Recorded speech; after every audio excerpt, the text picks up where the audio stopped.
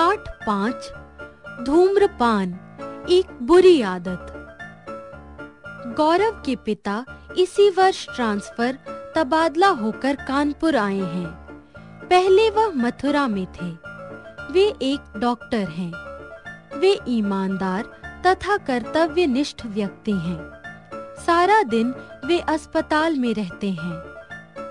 शाम या रात को अस्पताल में गंभीर मरीज़ आने पर उन्हें घर से बुला लिया जाता है तो वे तुरंत उसे देखने चले जाते हैं। गौरव के पिता ने उसका प्रवेश वहीं के एक पब्लिक स्कूल में करा दिया। उसका विद्यालय में पहला दिन बड़ी कठिनाई से बीता।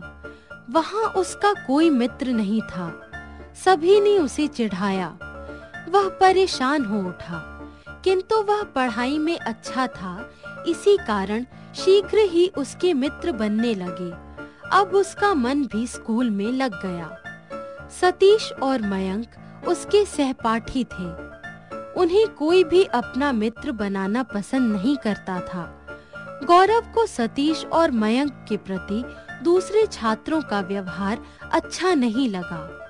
गौरव ने उनसे मित्रता कर ली। वह पढ़ाई में भी उनकी सहायता करता था। सतीश और मयंक निरंतर बुरी तरह से खांसते रहते थे। एक दिन गौरव ने उनसे कहा, मित्रों, मेरे पिता एक अच्छे डॉक्टर हैं। कल रविवार है, तुम मेरे घर आना। मैं पिताजी से कहकर तुम्हें दवाई दिलवाऊँगा। सतीश और मयंक ने उसकी बात हँसी में उड़ा दी। घर जाते समय गौरव उनके साथ चल दिया। कुछ दूर पान की एक दुकान थी। मयंक दौड़कर एक सिगरेट ले आया। उसने सिगरेट सुलगाई और सतीश के साथ कश मारने लगा। गौरव को उनकी यह आदत बहुत बुरी लगी। उसने उनकी यह आदत छुड़वाने का संकल्प किया। उसी शाम को टीवी में एक कार्यक्रम दिखाया जा रहा था। उसमें धूम्रपान से होने वाली हानियाँ बताई जा रही थी। उसमें बताया जा रहा था कि धूम्रपान करने से हानिकारक धुआँ फेफड़ों में चला जाता है। इससे फेफड़ों में छेद या काले धब्बे हो जाते हैं।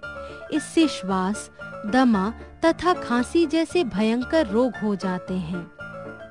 अगले दिन गौरव ने अपने मित्रों को धूम्रपान से होने वाली हानियाँ समझाई तथा धूम्रपान न करने की सलाह दी। परंतु उन्होंने अपने अच्छे मित्र की एक भी बात न मानी। तब उसने अपने कक्षाध्यापक से उनकी शिकायत कर दी। कक्षाध्यापक को उन पर पहले ही शक था। उन्होंने उन दोनों को अपने पिताजी को बुलाकर लाने के लिए कहा। सतीश और मयंक के पिताजी जब विद्यालय आए तो कक्षा कक्षाध्यापक ने गौरव को बुलवाया। गौरव ने उन्हें सब कुछ बता दिया।